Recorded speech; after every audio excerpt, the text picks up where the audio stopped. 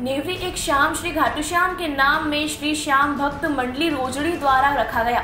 आयोजन में मुख्य गायक कृतिका मालवी इटारसी एवं उनके साथ विजय चौहान देवास ने श्री घाटू श्याम के भजनों की प्रस्तुति देकर श्याम भक्तों का मन मोह लिया।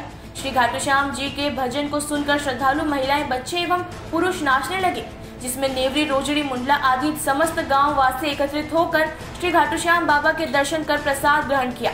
साथ ही समस्त गाँव वासियों ने अपना बढ़ चढ़कर सहयोग देकर श्री घाटू श्याम बाबा के दर्शन दिए।